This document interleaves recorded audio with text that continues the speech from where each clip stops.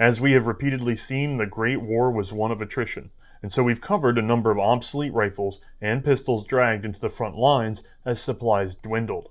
Italy's first repeating rifle, as old as it was, would be no exception.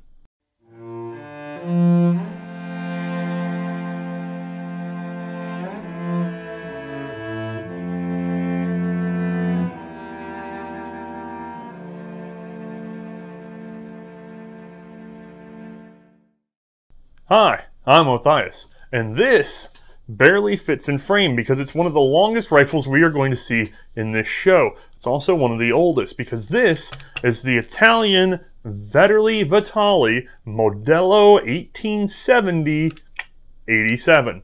Let's uh, see if we can get this down into the light box. With an overall length just barely exceeding 53 inches and a weight of 9.7 pounds, this is a very large rifle. It has a magazine capacity of 4 rounds of 10.4 millimeter.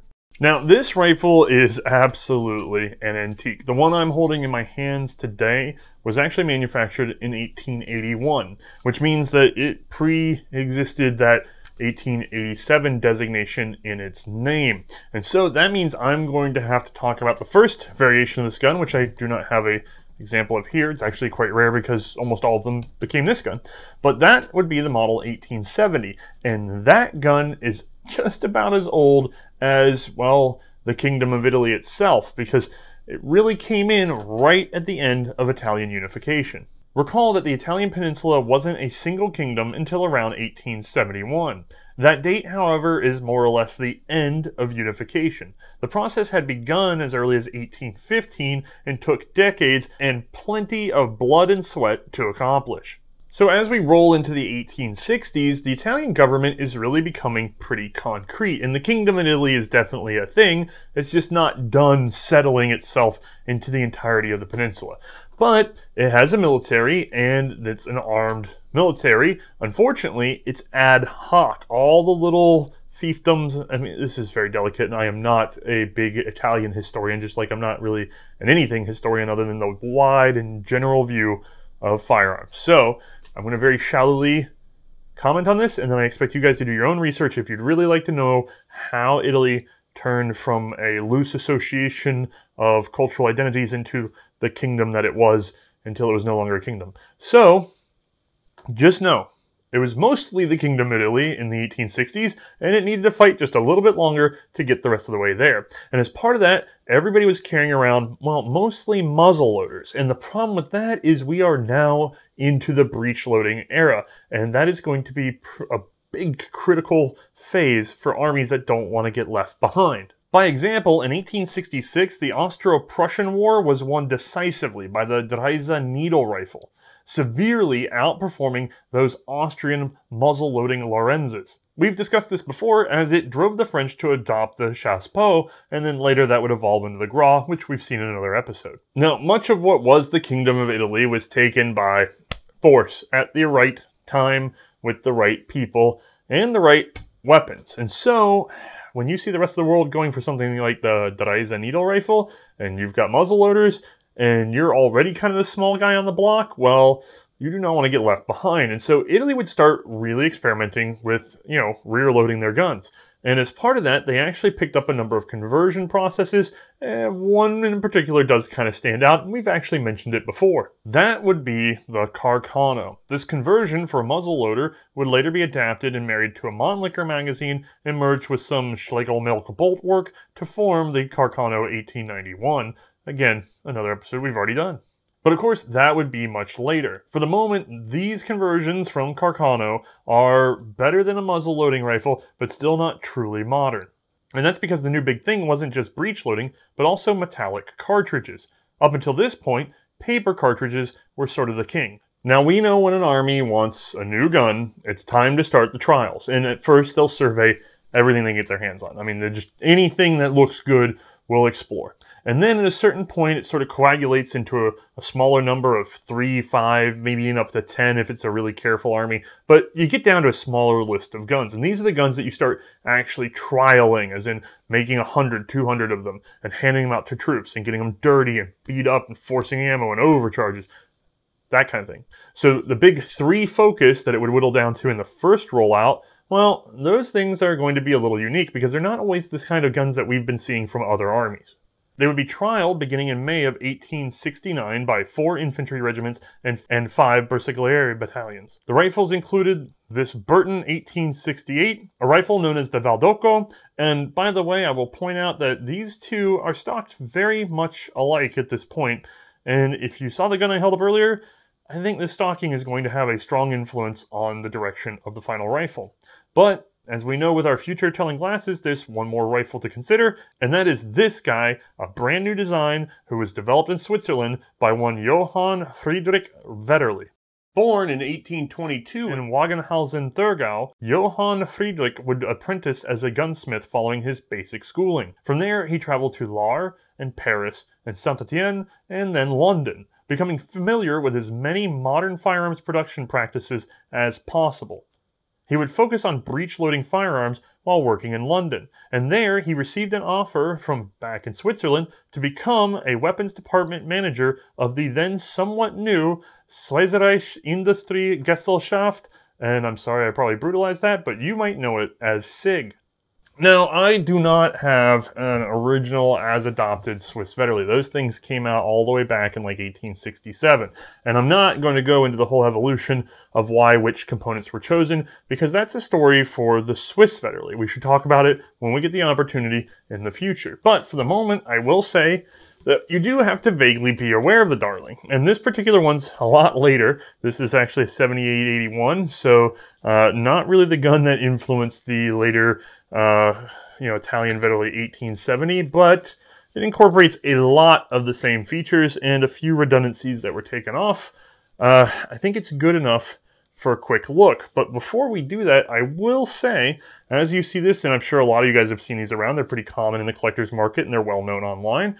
But uh, you might not know the first version of this was a hammer fire.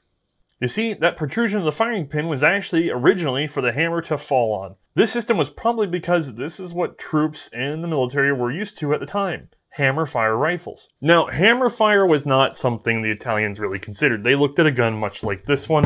I think we can tell that by the results here. Although I am going to set this aside. I'm sorry, there's a, not a lot of room and there's a lot of rifle. And we're gonna hold up this Swiss. Again, this is a later model. I want you to ignore the sights. There's gonna be possibility of gate covers and things like that. Basically, the Swiss Vetterli got updated every five years or less. There's so many variations of this gun, and it's actually really worth looking into if you want to collect a million of something. But again, not our topic for today. I just want to get into a couple of quick details. So let's take a closer look at this gun. Okay, touchdown. Let me make sure we're in frame. And there you have it. We have a very familiar looking bolt action system, very modern in the sense that we understand it. On this particular gun, it has a magazine, tubular magazine, and elevator. If I yank back hard enough, we will pop that up. It's going to feed the next round. As we come forward, it's going to drop back down. This whole magazine system has no bearing on our gun today. So while I pointed out to you, you can go back to safely ignoring all this. What we care about is all this action up here basically this bolt. Now this thing is very advanced. Uh, on this particular gun, it is rimfire, so I'm gonna check close. And then I hate doing this with a rimfire special old rifle, but I really wanna show you guys something, so I'm gonna go ahead and let that pop. So, she's fired. Our striker's all the way forward. I want you to see this because this, as early as it was, is a cock on open bolt. You see that guy coming back? And it has a cocking indicator. We can see that that striker is all the way to the rear. Beautiful. As we pull the bolt back, we're going to see another fantastic feature. Let me get my patented plastic pokey. We have locking lugs, one and two, uh, up under there, it's hard to see for you guys. Two locking lugs, symmetrical locking lugs. That is a big deal this early in history. Now, uh, other parts of this gun include the fact that, like I said, it is a rim fire gun. You can see there's uh, two prongs on the bolt to go ahead and hit for rimfire, or you can take my word on it. And uh, we've got a cross key here that retains the bolt. So if we get her halfway back and punch this out, it's going to release the bolt. We'll see more of that when we get into the Italian one. And again, there's no appreciable safety, although you see some features like this trigger guard with this uh, hook for your finger instead of a semi-pistol grip stock. This actually comes from the fact that it's probably easier to add this onto this forged piece here than it is to get the grain in the right direction to make a semi-pistol grip stock, semi-pistol grip stock, excuse me, and then actually get the pistol grip done and leave all that strength there. And this is stronger than it anyway. So the idea here is that you can still pull into the shoulder like you would with a semi-pistol grip stock. Probably not the most ideal spot compared to an actual stock, but hey, that's why that finger rest is there. We've actually seen something similar to this on a revolver very recently. All right, so oh, let me get this guy back. That's just the very basics of the Vetterli system. I don't want to go too crazy from there because I want to show you some more when we actually get into the Italian gun. Now, before we do that, we got to go to trial. So this is one of three guns in the trial. And just to point something else out, disregarding the guns it was up against, this gun, well, not this particular one, but the Swiss Vetterli system predates all of the following.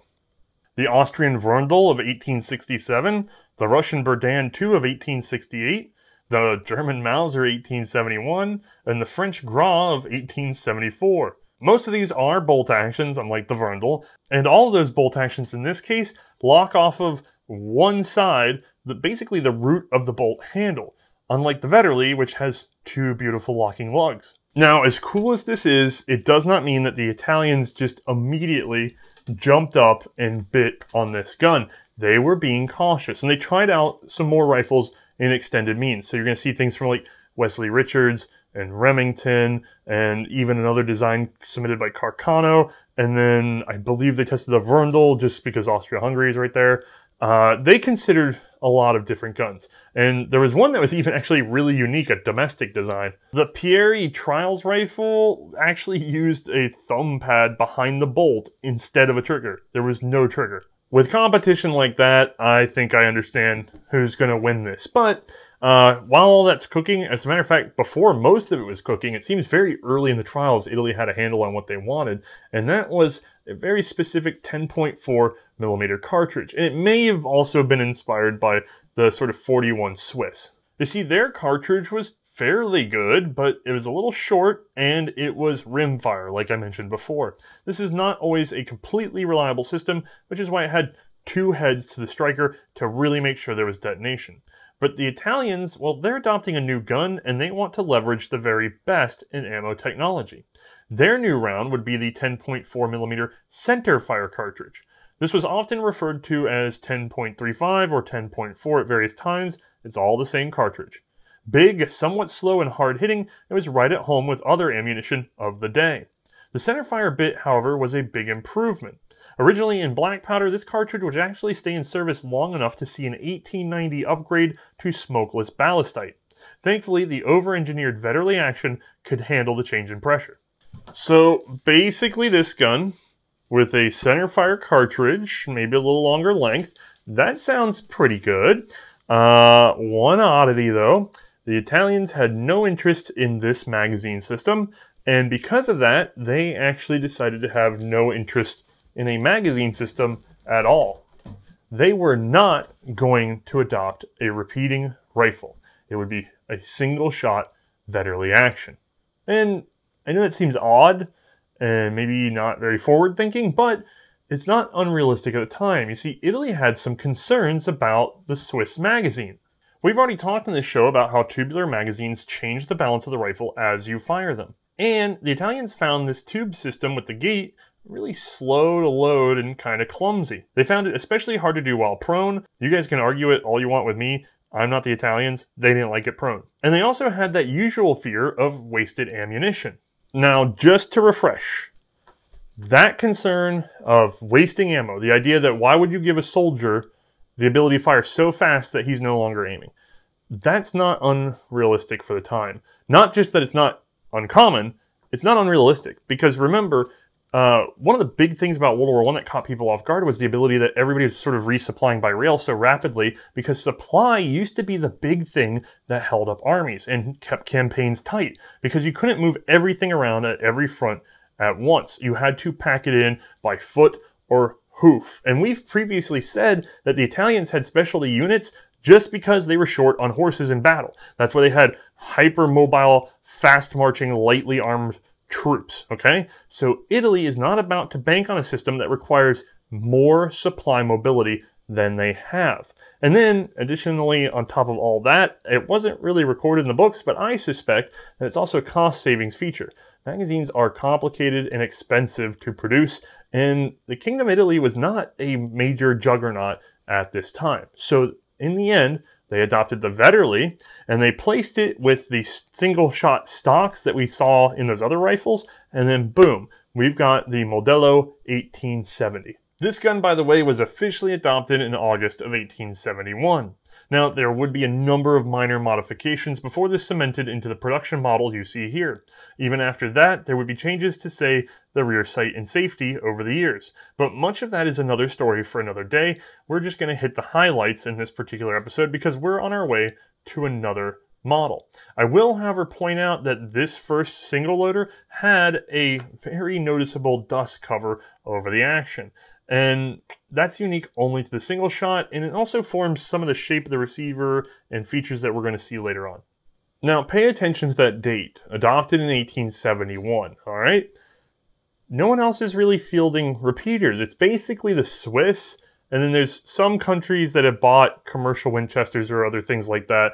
And uh, I mean, we see a lot of experiments with repeaters in the US during the US Civil War, but nobody has, in big European terms, has gone totally over to a repeater other than one neutral nation. So it's not that weird that we're down to a single shot, just like I said. There's all these considerations for Italy, but then there's also not a lot of pressure to do otherwise. Until we see our good old friend, the Siege of Plevna. This was again a battle between the Ottoman Empire and the Russians, and the Ottomans used a combination of single shot Peabody rifles and multi shot Winchester 1866s to resist a much larger Russian force for an unbelievable amount of time, and it made a lot of the news for military officials. Everybody was watching and soon discovered that it's not a bad idea to have a military rifle with a magazine in reserve to be used only when there's a breakthrough or a cavalry charge. Yeah, that devastation at Plevna really sold this concept. And so even Italy had to stop and go, oh boy, we probably should have put a magazine on that thing. And so they start fishing around, and they're not exactly fast at it. It's going to take almost a decade for this to really settle in. And to be fair, they need to be careful because, just like I said, they don't have money to burn. They want a rugged, reliable, and inexpensive, easy system. And luckily, one inventor would happen to be there in Italy to pick their brain. Giuseppe Vitali was born in Bergamo in 1845 and served in the Austro-Prussian War in 1866. Well, the Italian parts anyway. A member of the artillery, he had plenty of chances to practice his technical expertise and would rise to the rank of captain in 1878. In 1883, he would be assigned to the Turin Arms Factory with the rank of major. It was in this role that Vitali would begin to influence the Italian Vetterli rifle. His first distinction was reforming the safety. You see, the original Italian 1870 had no safety, but this quickly gave way to a simple trigger block, kind of like on an SVT-40 actually. But that too did not last very long, and instead it went almost immediately to, well, more of a manual decocker. The Clavarino safety was a thumb pad on the right side of the receiver. Pressing it forward depressed the sear. As you close the bolt on top of the safety, it would return that decocker back to its original position, while camming surfaces inside the bolt gently lowered the striker. Obviously, this leaves a firing pin against a live primer, and it is easily subject to accidental discharge. Yeah, I'm gonna imagine there were a fair number of incidents with that particular safety. I mean, strike the butt on the ground too hard and you have a risk of blammo. Uh, smack that pin around a little bit too much, maybe blammo. It. I don't know why you would leave a firing pin on a primer. It's ugh. okay. So that safety needed to go and it needed to go inexpensively and with minimal adjustment. And so in steps our hero, Mr. Vitali, in 1884 with his own unique safety. Now that safety would stay with the gun for the rest of its service life, so even though we haven't yet gotten to this magazine, I can at least show you what I'm talking about with that. So let's get in, and you see there's a swoopy doop right there. All right, I have to, I can't apply this with the bolt closed. I have to open the action. So I could feed around, imagine it's a single shot, feed around, and then throw the safety and then bolt forward. This is really the only way to sort of set it up. So you would bolt forward, and then as I drop that bolt in, that swoop holds the root of the bolt handle so that it cannot close all the way. At the same time, when we had pressed this forward, it had actually sort of disengaged the sear. You can see the trigger moving because of it. So if I bring this guy back open, uh, let's just watch it again. Watch the trigger. See? So now there's nothing holding the striker back right here. See that cocking indicator? So if I close this, watch the striker. Hard to do and give you the room. See how it drops? But unlike the previous uh, Clavarino, this safety, the Vitali safety, uh, does not let the handle all the way down, and therefore this striker cannot get far enough forward to touch the primer. It's being held by the camming surface inside the bolt. So uh, it's just lowering with the bolt and rising with the bolt. If you want to recharge the weapon, if you want to make it ready, you do not have to retract it all the way. You just pump her all the way up. And when you pop her all the way up, this guy, who is sitting over tipping point when the handle touched down on him, will snap back to position, free up our sear, and when we put our bolt back down, boom. So, just in case there's any confusion on this, because I know that was a lot of steps, I would, in theory, if I want to use the safety, I could put it on first or throw the round in first, that part doesn't matter. Loose round, safety up, bolt forward, drop down, safety is on, cannot fire, we're disengaged and that pin's resting most of the way forward, but not enough to touch the primer. And then when I'm ready to fire, I would just up, down, and boom, she's ready to go. All right, so Vitali has already started making adjustments to the service rifle, one without a magazine. Imagine that that's not there. Uh, I should probably say there obviously wasn't just a rifle. Uh, there were carbines and other things like that. I don't want to get into big detail though. That again is better served by an episode very specifically tailored to the Vetterli 1870 itself, a gun that really wasn't used in the Great War, only this version later on. Getting back to repeaters, the Italian Navy would actually be the first to adopt one because of their separate procurement process. This is the Vetterli Bertoldo, and it used a tubular magazine system kind of like the Kropatschek. But of course, this would not satisfy the Army. They already said they didn't want a tubular magazine. Now, the Navy may have adopted their gun in 82, but the Army had actually been thinking about this more seriously since at least 1880. They were actively testing a lot of systems, including, by the way, tube magazines, even though they didn't want one, tubes in the buttstock, weird capsule mags almost, and rotary things. They tried a lot of stuff. But remember, they want it simple and effective. So, uh, probably at least 12 designs were submitted by our good friend Vitali. Uh, he really wanted to fly everything he could past the officials, and he was adapting everything in sight. Now, there may have been more than 12, but I know there was at least 12 because it's his 12th that they actually ended up settling on finally, a four-round box magazine. Using a simple metal box that fit four cartridges, single stack, and powered by a simple flat spring, and being capable of being fixed to the rifle with minimum adaptation of the stock and action itself, the Vitali box magazine was the winner. It also had the added advantage of using a charger, allowing for rapid loading in a time when the Mannlicher clip had just been developed. This was another chance for Italy to take the lead. A little over 1,000 rifles were converted to the new Vitali magazine for testing in 1886, and with minor changes they would emerge in 1887 as the new official rifle. Now the magazine wouldn't be the only change to these rifles, but it certainly was the most prominent. Alright, we made it to our gun today, and that means that we can actually get a closer look and see what all little changes were made to this gun from the 1870s. So let's zoom in. All right, now I know I didn't have an 1870 to show you, so this looks like the gun you already saw, but I want to point out a couple things. Uh, number one, there's now a magazine. It looks detachable, it is not. It's actually held in place along with this reinforcing plate that was designed to make sure that we didn't weaken the stock when we bored it out for this big magazine. I mean, that's a big hole that you've opened up in a gun that wasn't supposed to have a hole there. So this reinforces everything on the other side. It goes right over the original trigger guard at the front here, bolts right through, held on nice and tight. Gun looks good, all right? Uh, by the way, this takes up the minimum amount of space because it's been shaped around the shape of the potential cartridges loaded in there and tipped. So it comes out with a very odd sort of swoop and everything, but it's good because it's less likely to snag and less likely to beat up on your soldiers than having a bunch of empty space in there that's not really being used. All right, we still have our trigger spur that came all the way over from the Swiss. And if we look, we've got our updated safety that I already talked about. And back here, this rail, this rail was actually not on the original 1870. So on those guns, you would pull it back and the whole way back, the bolt would be unsupported. And you can tell there's a lot of play in that bolt. That wasn't a big deal when you would bolt open, put a round in the opening, and then guide the bolt back in.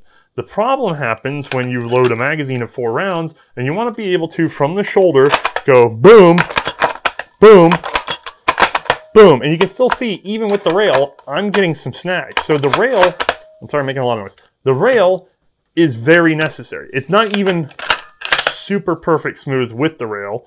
Without it entirely, you're going to be jerking the bolt. It's going to be walking in sideways. You're going to be grinding stuff because it's no longer the calm, even flow. It's rapid fire. So uh, let's get a closer look again. There we go. Uh, rail, the dust cover is gone. It's been removed because it really wasn't doing much for the gun anyway. And now it's just going to get in the way of loading the magazine and confusing people and causing jams, especially if you leave the dust cover off and try to bolt. So imagine if you had the dust cover closed, you fire one, you rack it back, it doesn't eject, and then it starts to pick up. And you get a binding. It's a horrible mess. Just cut the dang thing off. But they kept a tab back here to serve two purposes. So if I open this up and we look down inside, uh, it's a little dark. Let me see if I can get you just enough light. You want to look just in front of the bolt face right in here. This has a magazine cutoff. See that? So with that in place, we can't really load any and we can't let any pop back up. It holds them right down in the magazine well, and we can single load this rifle until we need to, boop, use the magazine. So that's your cutoff. Secondary function of this is it's actually holding the cross key. So you have to align this, have the bolt halfway out, and then you can push on the other end of the cross key, pop and pull, and that frees the bolt to come out of the action. We'll talk more about that in a moment. Uh, while we're looking down in the magazine, I want to point out there's two interrupters here because it was a rimmed cartridge. As a matter of fact, I have one round here that's a hand load of ours, but look at that big prominent rim. Uh, if you want to be able to feed this without rim lock, you're going to need a spring interrupter that's going to hold the second round well below the first, the next one to come up. Uh, so that's what those guys are for. They let everything pop and go. They also just keep the cartridges down in there. Now, uh, you may have seen I have a charger. So this would have been loaded with four rounds and the whole thing is inserted into the magazine. Of course, without the cutoff engaged. So the whole thing is inserted down in the, yeah, okay, I'm clear. It's hard to do without actual ammo on the thing. The whole thing will go down in there. And then once you're in, by the way, there's an arrow marking which way to orient it. Uh, it would actually be sort of held in by the pressure of the cartridges on top of those springs. You would grab this rope and yank it back out and toss it away. You'd have four cartridges sitting down in there, an actual charging charger. Uh, pretty good design, honestly. I mean, it seems kind of ratty, but I mean, a lot of countries had no loading systems. Most of them were still in tube loading format. The fact that the Italian army was really resisting going to a tube loader and instead went with something like this, very, very advanced thinking. All right, uh, while I'm here, I just want to point out something else. You may see some notches here. Uh, that's where two long springs have been set. They form these interrupting springs here. So these heads go all the way down the outside. There's a relief cut here, a relief cut here in order to get that all set up and then they're screwed in. That's gonna be important on our next episode actually. Now, uh, while I'm still at the gun, I will point out there's a small little drain hole here so it doesn't fill up with water. And then, oh, we need to look at the sights for just a second. These are actually the 1890 sights. They have been updated for use with the smokeless cartridge. Before that, they would have had a uh, similar but more Carcano looking Vecchi sight. Uh, as a matter of fact, this came out for the 1890 ammo, and then when the Carcano came out, they almost went right back to a very similar sight to what had been previously on the gun. Uh, if you're just curious about the overall gun, two barrel bands, a big old cleaning rod, and a side mount bayonet lug. More on that a little bit later. Ugh. So, there's a rifle. The next bit we got to talk about is just the bolt itself. So, we have an overhead extractor, and then this finger right here this protrusion, that was actually added. There's no feature like that on the original Bolt because it was a single loader. You didn't really need to control the cartridge as you fed from the magazine. This is a rim support. It does a beautiful job of helping the gun pick up, move, and direct the cartridges into the chamber. Now, I do want to take this bolt apart for you guys because it is absolutely fascinating how modern it can truly be and how simple it really is despite the complicated shapes. Okay, really simple operation here. I can simply unscrew the back of this guy. It's going to be under spring pressure. Don't be alarmed. And don't be caught off guard or you'll hit the cat in the eye. I'm still unscrewing. There's a lot of unscrewing here. Boom. They didn't want these coming loose at the wrong time. Caps off. Spring is out. Cover is out. This is a sealed action. I mean, when you think of like Mausers and Mannlichers, most that cocking surface is actually exposed to the elements. This is sealed up. Very good design. And then our striker comes out. Beautiful. And then this is probably the most interesting feature. Our bolt handle comes out and the locking lugs here are attached, see them very clearly, attached to the bolt handle, not the bolt body. Now this makes, the fact that they has two symmetrical locking lugs, that is incredibly good for the time. That is a very strong system for 1870, uh, or even early because, you know, 1860s for the Swiss. This is brilliant. And then cock on open, by the way, so let me look again.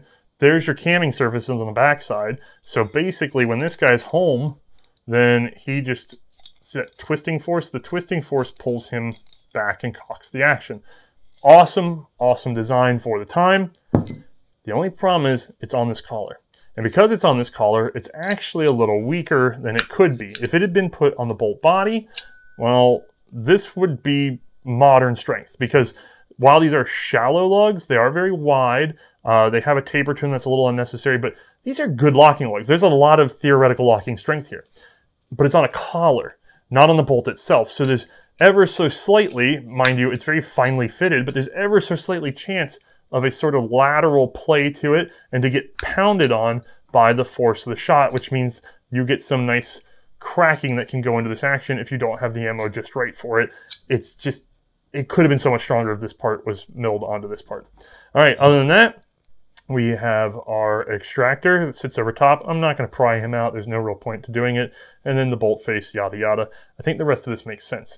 Uh, the ejector groove is here, and that matches just a simple screw head that is down in the action. Way back in that little corner, you should see the head of a little screw. That's all that's really kicking out the cartridge at the end of its travel. All right, normally I would, I made a mess. Normally I would kick, like a, there we go. Okay, normally I would kick this right over to an animation, but I just want to make sure that I cover that this is not the only version of this gun. It's just the one we have here today because they did do a couple carbines. So the long rifle is called the Fucile Modello 1870-87, just an infantry rifle.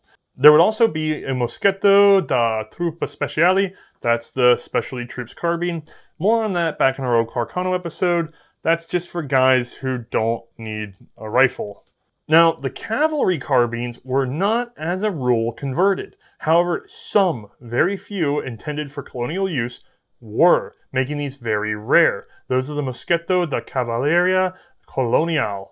I don't speak Italian. Alright, so that has us caught up enough that I could probably put this guy back together while you look at one of Bruno's animations. First, we'll load this gun up from a 4-round charger. Here is the magazine cutoff, set in place of the old dust cover. With it on, we have a single-shot rifle.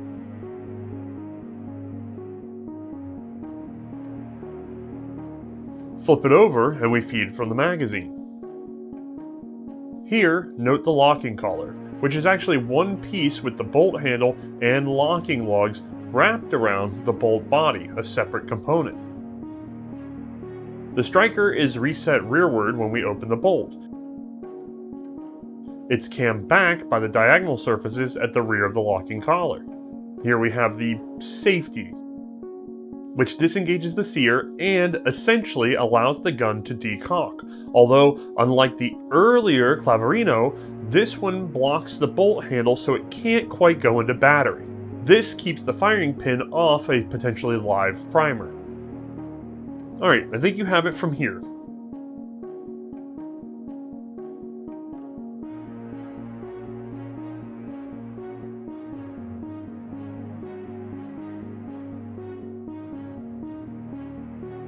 So now let's get this over to Mae.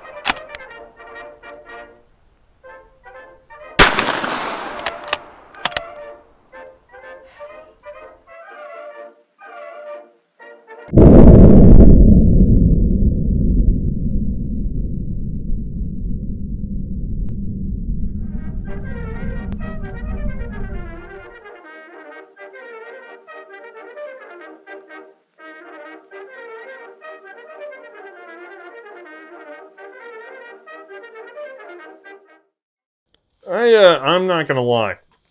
This is probably the most fantasy, steampunk, fictional looking rifle that we are going to do for World War One.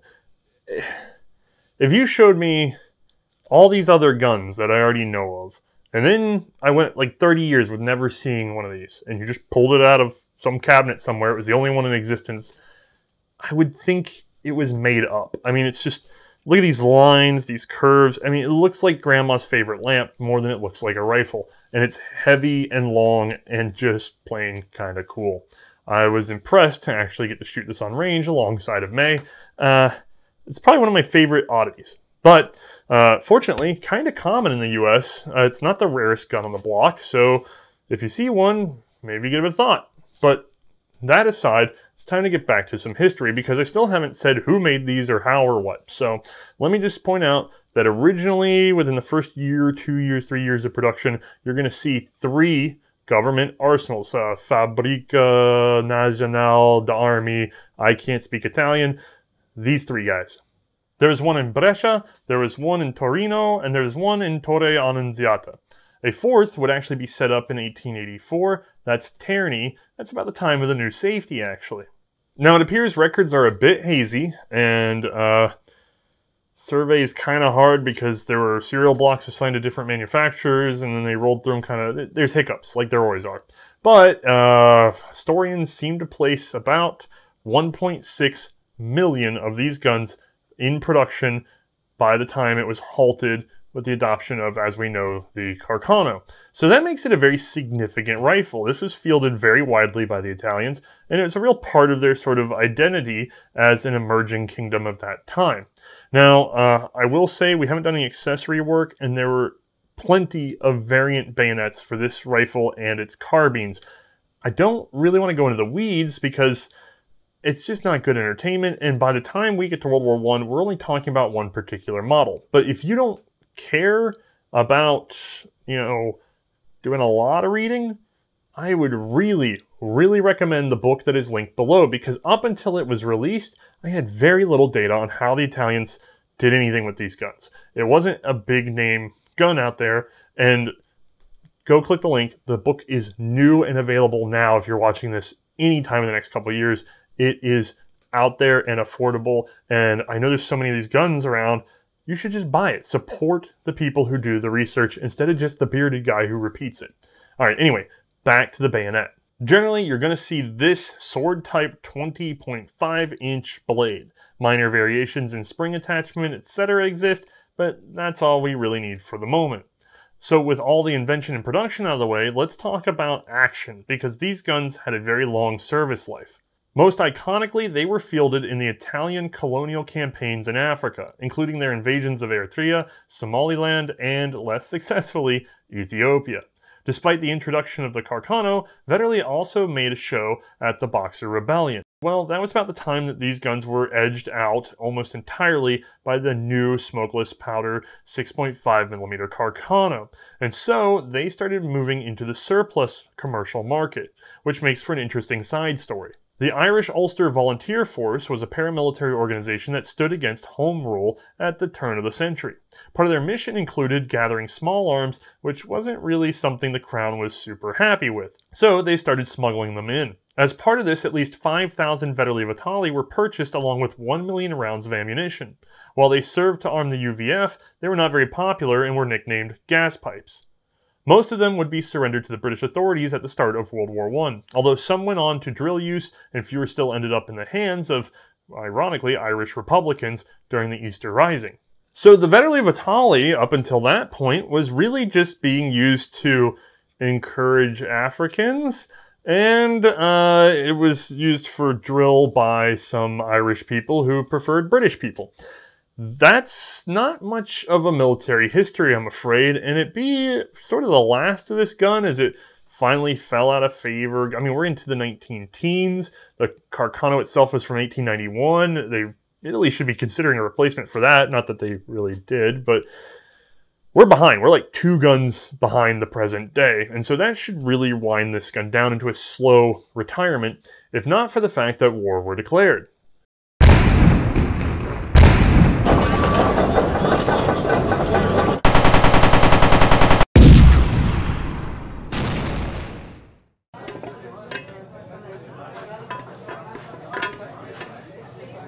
That's right, and as we've said so many times before, it was a war of attrition. Wear the other guy out until he runs out of beans, bullets, and even black powder rifles. So, uh, this Vetterli Vitali was going to remain in service for the Italians a little bit longer. And like I said a bit earlier, this gun, well, they had produced 1.6 million, and according to Italian inventory, uh, about 1.3 million were still available in working condition. Now, a lot of those may have been in the colonies where they were serving in place of the Carcano. That's kind of good because we'd prefer to have the Carcano back at home. And that meant that Italy had a lot of emergency go-to rifles, and even though they were no longer producing the ammunition, they had plenty in storage. So, good call, easy to draft up. Now, mind you, these 10.4 millimeters were kept far from the front. They were rear echelon and guard duty work because we would much rather our front line all have that same 6.5 millimeter cartridge firing out of, well, hopefully a Carcano mainline rifle. Honestly, ammo was the big limiting factor on this going up to the front line. Uh, the Vetterli Vitali and its 10.4 millimeter cartridge, there's just a logistical nightmare to move that stuff up. And then you'd also have to produce it. And you don't really want to produce two types of ammo. You could in it, what you would be producing for 10.4 could be producing 6.5. That goes in our machine guns and our rifles and both. We're going to produce that. All right. So this is held back for now. Uh, and as a matter of fact, the Vetterli still had something of a frontline role, just not the Vetterli Vitali. I'll talk to you guys next episode about a different rifle that I'm sure many of you are familiar with already. Now, that means it's kind of weird that I'm having this conversation because it seems like realistically, the Italian Vetterli 10.4 sounds a lot like when we did the French adoption of a rolling block, which they just used for guard duty, right? Like, this thing's sitting with rail guards and bridge guards and stuff at best. So why the whole episode on it? Well, the interesting thing is that Italy, of course, is not the only nation desperate for rifles. There's one nation above all others who will take any bang bang rod and subsequent ammo they can find. And that nation, as you all know from watching this show, is Russia. We've seen them buy up Gras, Kropatscheks, Arisaka, Berthier, Winchesters, and now we're going to see that they take up the Vetterli Vitali. Like so many other Russian emergency rifles, these would come courtesy of the British, whose attaché in Italy in September of 1915 reported back that 500,000 of the guns could be made available almost immediately. Now here's the catch. No ammo was offered in that initial opening conversation. It was going to have to get produced elsewhere. Although, with some finagling, the Italians did agree to free up 8 million cartridges to possibly go with those rifles. So this whole thing was rolled into a bundle and sent over to the British, not the guns, the offer, uh, in a letter. And the British military attaché included, and I'm not kidding, this particular language. The Vetterli rifle is bad, but better than a stick. And on that note, the British War Cabinet approved the purchase of up to 300,000 rifles and the 8 million available rounds of ammunition, all of it to be passed to Russia. Now, Russia is, I mean, they need rifles. And of course, they're allied to the British and French who want them to have the rifles. It goes a bit beyond that as to why everybody was in such a rush to get everything possible into Russian hands, including something like this. And really, what it was is Romania. Uh, Romania had been lured into the fight and was now getting summarily stomped in the head. Please watch The Great War if you'd like to see some of this. We talked about some of it in our Romanian rifles episode. But poor little Romania was supposed to have Russia's backing, and Russia was so short on equipment that it was a very easy excuse to not get involved as well as they should have over on the Romanian front of things. And so Russia would constantly say, look, we can get over there and help Romania. We can commit, you know, 250,000 men or 300,000 men or whatever, but we have no rifles for them. Find us that many rifles and subsequent ammo. And so, yeah, that's why. This was a bid to put soldiers on the ground in defense of that Eastern Front. And so, that's going to make the math seem a little bit odd if you've already done the numbers on guns versus cartridges. 8 million cartridges, 300,000 rifles just over 26 rounds a pop. That is not going to sustain an offensive. Even as a reserve weapon, that's not so good. So contracts in Italy and the US would be let out for some 300 million more rounds, making them serviceable rifles. The first batch of rifles would be shipped out in November 1915, and by January of 1916, all of the rifles and 14 million rounds were delivered. Not too shabby. Subsequent orders and deliveries would result in roughly 400,000 of these ending up in Russia, along with 31 million cartridges delivered. Now, of course, the total, like I said, was 300 million. 100 million of that was coming from the US and 200 million from Italian producers. So, okay, uh, one problem though Russia runs out of money, and then they sort of run out of government, and then they run out of the fight. And that leaves a lot of people holding well, a lot of work. As a matter of fact, the American company that had been contracted for 100 million cartridges, they had only delivered a small portion of that before it was told, eh, don't worry about it. But they had already leveraged all these assets, and so they were forced into liquidation. Awesome. There's so many stories of unpaid Russian debt in the U.S. over this conflict. when governments when governments collapse, they tend not to pay their bills. But anyway, the other unusual part about this is that lots of ammo was left undelivered on the docks in France. That's right, the great majority of finished ammunition never made it to Russia. And eventually, the French wanted that space back in their dockyards. And so they said, get it out of here, it's garbage. And so 300,000 rounds were returned to the Italian Navy, and another 20 million were set aside for the Siberian Expeditionary Force just in case. Still, even with that plucking, 80 million or so rounds were destroyed by the British. They were just recycled into raw material. That is a huge waste, unfortunately. Now, uh, the deliveries of these guns and others did give Russia enough room to commit 250,000 more men to that sort of Romanian front. That did not really do anybody any favors, though, as it came a little little and a little late. Uh, while we're talking about Romania, though, I want to point out that it turns out that maybe the Russians or maybe somebody else handed over a fair number of these to them as well. Now, I have it on good authority that Romania records an inventory of at least 122,000 of these guns received by November of 1917. I'm unsure about how much ammo they received, though. These were much needed rifles as Romania was desperate for arms. Remind me to show you a terrible revolver some other day. So, some of the Russian stock was used by the Russians, some of it was taken up by actually internal forces that were neither red nor white when the Civil War broke out, and some of them ended up in the hands of Romanians. And then, as things calmed down, the Soviet Union decided that they wanted to support the Republicans decades later during the Spanish Civil War, and so actually a number of these guys would be shipped from Russian inventory over to Spain. And so, uh, while it's true that some of these guns have turned up with little Russian proof marks here and there, uh, look carefully for Cyrillic. It doesn't seem like it was universally applied at acceptance. It seems like sometimes they stuck around long enough to get some sort of inventory mark. It, it's not a big, you know, Russian ownership stamp. But there's a good chance that if you have a Spanish flaming bomb on your stock, that your rifle came via Russia at some point.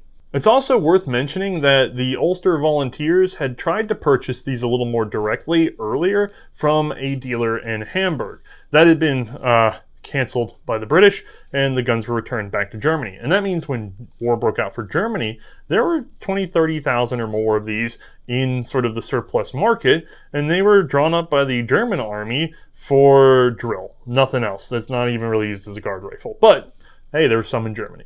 Now, uh, other uses of this gun after World War One would include, well, a bunch were sold to Chinese warlords, and actually, more interestingly, a number turned up in the hands of Turkish nationalists. Now, at that time, this is immediately after uh, World War One. This is a Turkish War of Independence. At that time, the Russians sort of favored the Turks, and the Italians sort of favored the Turks. The Italians just really wanted to tick off the Greeks.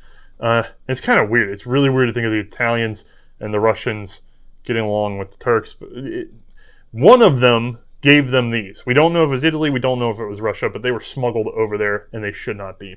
Oh, and speaking of smuggling, the ones that were sent to Chinese warlords out of Italy, there's also an embargo on that. And so they shipped them in crates marked Japanese toys. And it worked. I feel like inspection maybe didn't do their job there. Anyway, finally, the guns continue to serve all the way into the 1940s in places like Ethiopia, where they had either been bought in on the surplus market or captured straight off the Italians. Matter of fact, Ethiopia had uh, started running out of sort of supply ammo that they had had left over from fighting with Italy for the 10.4. So they had to contract with a French company to produce new 10.4 because they had enough of these floating around through the 30s and on into the 40s. So this is a gun that went from 1870 to at least like 1941 and maybe even a little bit longer than that. That is really, really fascinating.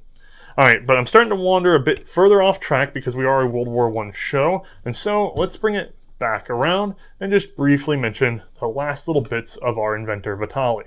He hadn't just developed the safety and magazine systems, Vitali also took an active role in improving the manufacturing workflow for this rifle, organizing private contractors for small parts and streamlining assembly. In 1891, he would leave Turin and through various assignments rise to the rank of lieutenant colonel. Vitali would continue to serve until he retired from active service in 1903.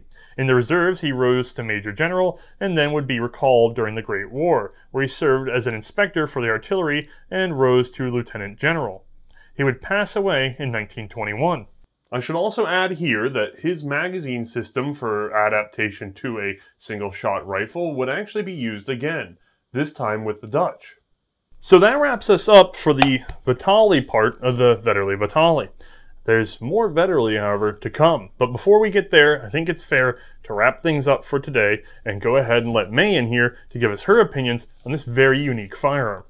All right, once more, we've made room for Mae and have just barely enough studio space for this particular uh, rod. So let me get that over into your hands. We're here to talk about the 10.4 millimeter Italian Vetterli.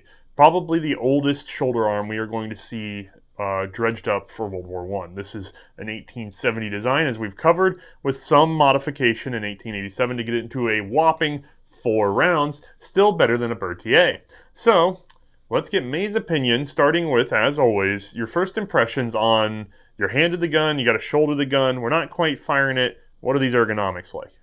So guys, not counting the Tigevaer because that thing was on a bipod, this is the longest heaviest gun I have shouldered to date. Taking a second to get it all in frame for you there. Um, yeah, it's super awkward. I am really grateful there's only four rounds that I'm having to shoot out of this guy because after the fourth round, you definitely need to put it down. So this isn't something you take out and have fun with all day long. No, this is just for shoots and giggles, off and on throughout the day. But anyway, yeah, so the length and weight definitely don't add to this guy. Um, they definitely detract. And the balance point on this one is so far forward that it just kind of makes it awkward to handle for eh, you know handle it all on your shoulder which that we're going to get into that in the shooting a little bit more um, the action you know it kind of reminds me of a lee enfield a clunkier gunkier not nearly a smooth version of it but it, it kind of does in just that it feels like there definitely are steps to the maneuverability of the action like one two three four five like i really feel like you could get great fast training with these guys if you try um, I will say this action, it's very rough and that I feel like I could easily just push it even just a little bit and it would not want to function. So good on the boys for adding in a guide rail back here because that really does come in handy. Like I can't imagine maneuvering this one comfortably without that. It definitely adds to the gun. Um, straight wrist stock, not my favorite, but hey, they added a trigger spur it barely really kind of helps in this situation, guys, because if anything, I just have one extra finger pulling this back into my shoulder. It adds a little bit, but not enough in my opinion. So it's better than not being there, but still not the best at all. The last thing I wanted to talk about was so you guys, some of y'all have given me a little bit of crap about wrapping, not wrapping my thumb over the stock for this gun, with guns in general for the show in a situation like this, definitely you can see where it's not going to be a good thing because wrapping my thumb over, I really don't have a good per. I really don't. Eh, I'm not able to put my hand far enough forward, in my opinion. And my thumb and forefinger are being squished by this guardrail back here. It's not comfortable. You have to grip into a part of a screw that's sticking out. Like it is. There's nothing about this that makes sense for you to wrap your thumb over. So wrapping to the side and in general, for a lot of these old guns, it just makes sense to do that. So if you haven't tried it, honestly, just give it a shot at this point. You may be surprised at how well it works for you.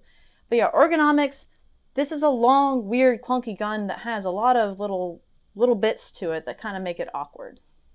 All right, so Mae's a bit bitter, and I can understand. We get a ton of comments. Actually, uh, I tend to clip some of our comments because we get about four sexist comments per hour as it is. And when I say sexist, I don't mean, you know, minor commentary on this and that. I mean, usually we have profanity filters that you wouldn't believe at this point.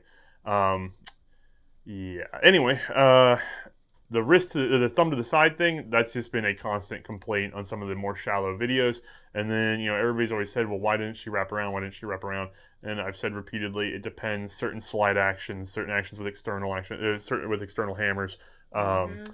even things like a like for me i don't know about you you're much smaller than i am but like a MAS 36 i can't put my thumb behind on a MAS 36 bolt action because if I do with that short shoulder, I will just bop myself in the nose every time it fires. I have to put my thumb to the side. So at some point, you run into enough oddities that you just kind of get used to putting your thumb on the side of the gun the first time you fire a new gun because you don't want to punch yourself in the nose or have some piece of metal catch you or whatever else. And then that just becomes your habit when you're dealing with old guns over and over and over again.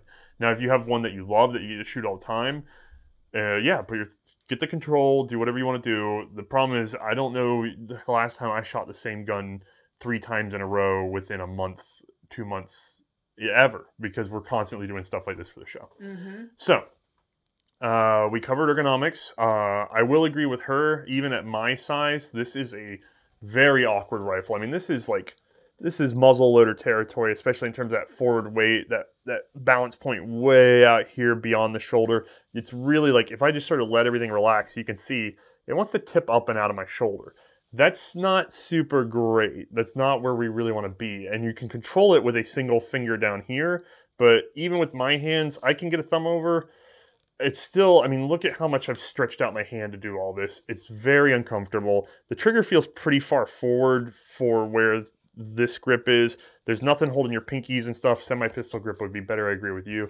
And then the Lee Enfield thing, I agree actually, and Mae's the one that pointed out to me, it is very familiar because this straight but turn, not turned down, but the straight but downward bolt handle, very similar to the later Lees, and then puts you right over with the trigger. That much is actually really nice. So, oh, good. My left arm is sore just from doing that. Yeah. So, uh, here, let me hand this back over to you. Uh, let's talk about sort of loading and firing this gun because that's where it gets fairly unique, where we have like actual charges and things like that. What were your impressions of, well, here, those little guys? Yeah, so loading with the charger, surprisingly smooth. Except for the first time we tried to load it on range, the 100 year old rope actually snapped on us, so we had to go get some twine in order to continue with the shoot that day. Aside from that, though, it was a surprisingly smooth system. It didn't jam on us once, it loaded all of the cartridges, so nice surprise that the charger fit in there and it's it's pretty obvious how far down you need to shove it too. It it it has a positive stop on it, which is nice. So yeah, kudos on them for the for the charger on that one. It it worked surprisingly well. Oh, uh, not to interrupt, but one thing. Don't forget, 1887. This is dropping about the same time that the Mannlicher clip is, so that puts the Italians right on top of innovation. In a weird way, on an old gun, mix of old and new, the old Italian way, right? So, mm-hmm. at least ammo loading wise, they were doing something right for just a brief moment in time. But I'm sorry, let me get back to what you were doing. He's so rude. He can't help himself, guys. Seriously, this guy. Huh. Who does he think he is? Some sort of star of a channel or something like that? Sure. Anyway, so while we're talking about the gun, uh, before we get to the actual shooting part, I want to make sure I mention some little bits and biddles on this guy that are awkward to operate. So the magazine cutoff, it works. It works very well. It's a little bit awkward in that you have to thumb down the round and then turn the magazine cutoff to the side. A little bit awkward, but it worked. It was very positive. It worked very well. It's very obvious when it's on or off, so there's no mistaking that there. Um, the safety, another weird thing to operate because you have to open the bolt in order to flip the safety on. And there, it's on. It works. It's it's a very positive safety. But the problem is I then have to open the bolts again in order to, you know, make sure the safety is off. So those two things not my favorite. They work, but why do they need to be that overly complicated? Why can't they be a little more simplified? Anyway. Um shooting. Sights on this gun. They are tall. They are actually surprisingly tall, but they remind me of old revolver sights, the steeple sights. So they're a little more rounded than what I would expect. That being said, at least they're tall, so they're easier to see. They're just they're not the best they could be, but they're also not the worst they could be. So I guess you can give the sights kind of a middle of a ground uh, uh, view, review on that one. Uh, the shooting part, the trigger on this guy, it is very heavy. It's a very heavy single stage trigger and not smooth at all. It's kind of creaky. You can kind of feel it. It almost feels like a 100 something year old rifle. Go figure. But it, it's super creaky all the way through. And then I didn't anticipate when the break was going to happen, which was nice. But it's still not my favorite trigger, but at least it was nice and heavy and you really didn't know when the break was going to happen.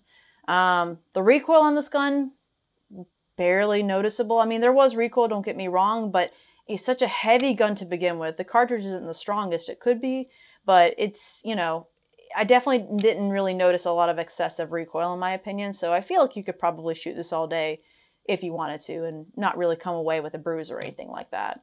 Um, but yeah, shooting it, it was fun for a few shots and for a few giggles, but it wasn't exactly my favorite. And, you know, this balance point all the way far forward and the weight of it really kind of wears on you as the day goes on. So, not a not a long day shooter, but it shot all right. I have to agree with all those points. May I take that? Another thing I'll point out, actually, just because you did a good job of covering everything. Um, Thank you. It's oh, lovely. Go on. on the sights, uh, you might notice this is, I think, the first time you lost paper on the. Oh, not lost paper, but lost uh, silhouette on the target. It's true. So um, part of that is because this gun, at a minimum, was set for 275 meters. So we should have taken a six o'clock hold right from the start, and we did not. We took right for the A. Is that correct? Yeah. So she shot a little high. And then in addition to that, these sights are actually bent. And I can sit here and try to bend them back.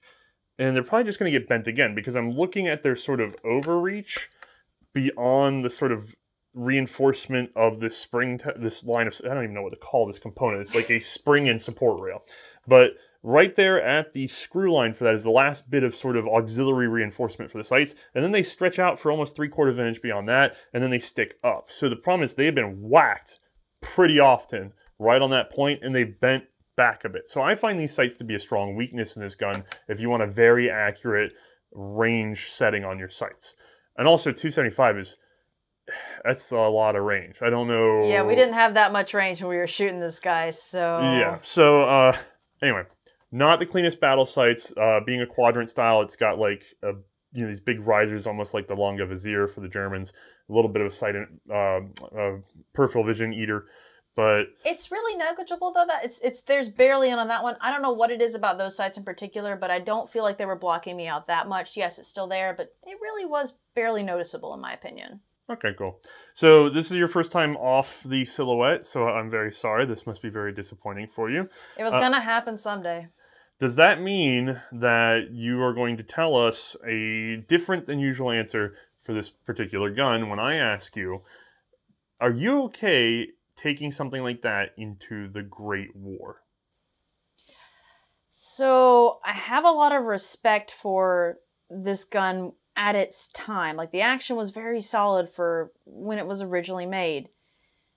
When it was used though in the war, I feel like its time had passed. I had a lot better, safer options to choose from. This really isn't the best. I mean, there's a lot of fiddly bits that go with it. Like Othais is pointing out, the sights were already damaged on this gun when we got it. I feel like by that time, I wouldn't be comfortable taking this into battle because we have one, I, I wasn't able to get all my shots on target. That already makes me nervous, but I do know it was due to the crooked sights. But also, it just feels finicky. Like, I feel like any sort of modern muck getting in here really isn't going to help with this gun. It already needs, needs this guide rail in the back to really stabilize it. Uh, there's just too many negatives with it. I feel like I can survive with much better options. So, do I think I could defend myself if I had it? Yes, I would certainly try, but do I feel like if I got the split second jump on a guy where he's got a gun as well, do I feel like I'm going to be confident with it?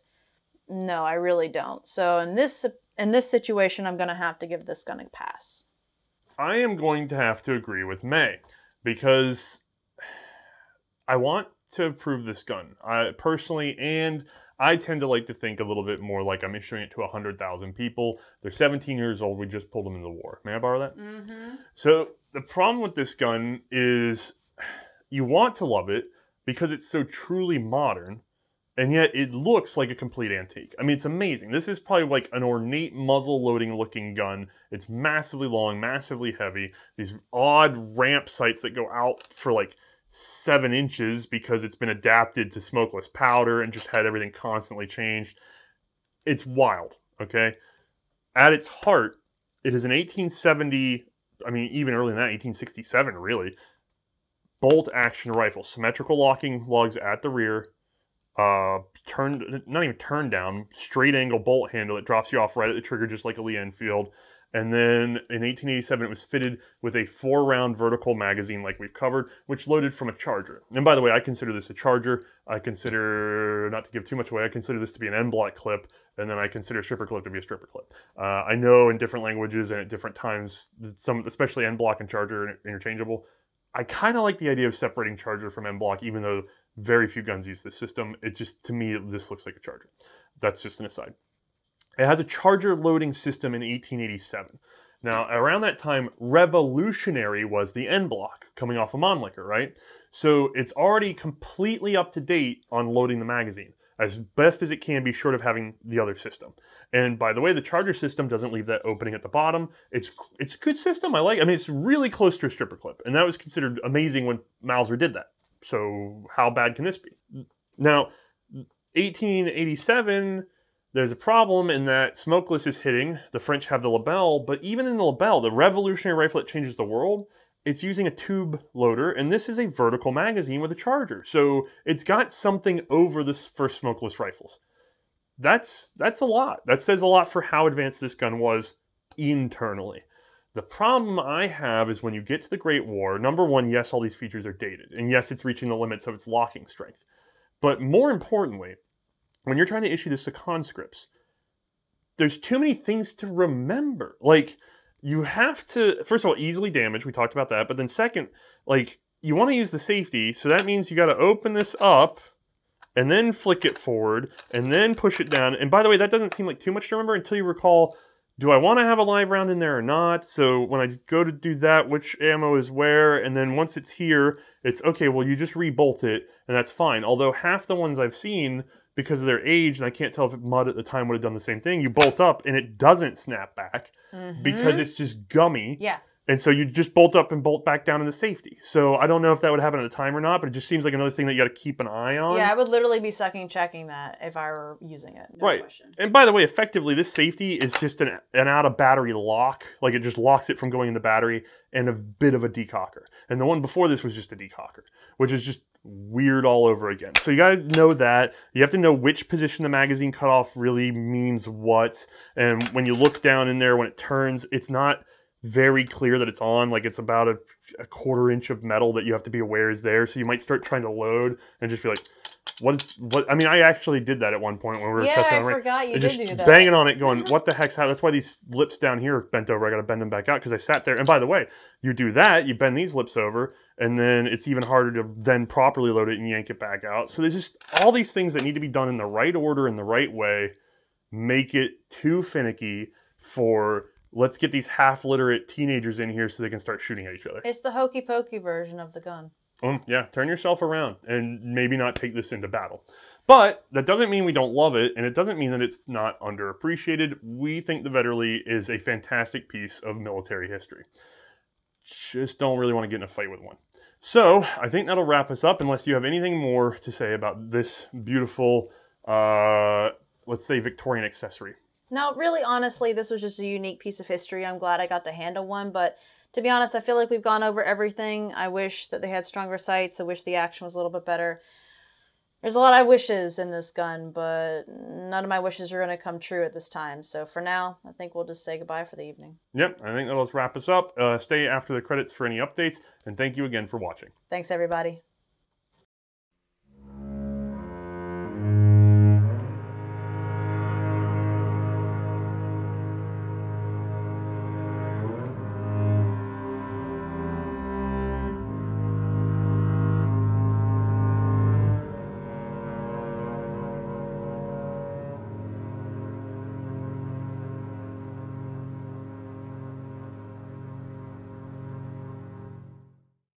All right, gang, time for the update. Now, if you don't follow us on Facebook or uh, over at Patreon, then you might have missed out on a bit of drama over the past couple weeks, which is that we repeatedly get messages that ask us to participate in the current political dialogue. Unfortunately, we are a history show, and while I have very deep rooted personal feelings about the current state of American politics, about half our audience doesn't actually live in the United States, so I'm not really sure who I'm supposed to be yelling at. And while I may have my opinions, I am not the sort of person who has the time to put in the research to be an adequate spokesperson for anything other than exactly what you see on the show. And so I am bowing completely out of this political conversation and don't really want to make comments about lawmaking. I will say right now there will be an exception because if anything happens that would actually stop us from producing the show or make it unsustainably difficult to make the show, I will have a duty to tell you because I won't be able to do the show. I will just say, hey, look, this is coming up. It may stop the show. I'm very sorry if it stops the show. I won't tell you how to vote or how to feel about it. It's just a heads up. Other than that, you guys are all adults, you all make your own decisions, and you all have the option to seek out political content where it is. And I do not say this as any disparagement towards people who do produce political opinion shows on firearms or anything else. If that's your thing and people want to sign up for it, that's great. All right, the rest of you can just enjoy Oasis right here and only see history and occasionally Mark's profanity. We thank you all for your support, and if you really want to make sure that we can stay sort of unaligned, then I highly recommend visiting us over at Patreon because that means no matter what the platform or the risk, we have the means to support the show all on our own with you guys' actual financial support. All right, thanks.